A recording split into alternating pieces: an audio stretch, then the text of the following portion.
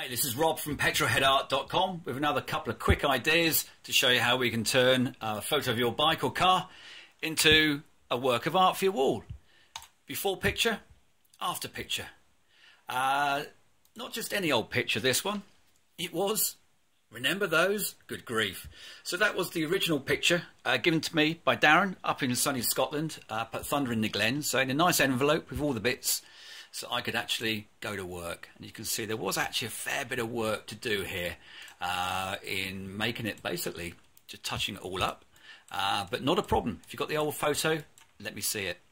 So, hard work all done, obviously, after I put the kettle on, uh, through the spokes, taking out all the blemishes and so on. And there it is in chosen background.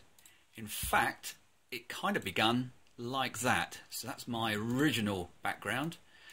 Uh, but if changing the sky like an artist would, then it's very easy for me to really tailor it how you like it. Uh, so Darren, thank you very much for that. Um, now, it didn't start stop there because I've already done the hard work. I've already created uh, the piece here. I can now put it into another backdrop.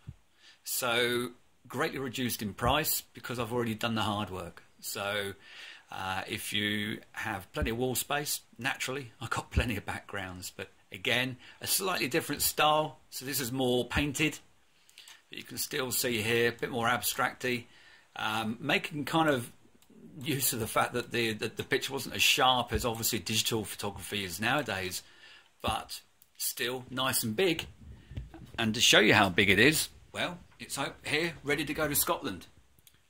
So you can see the quality here. Nice and good.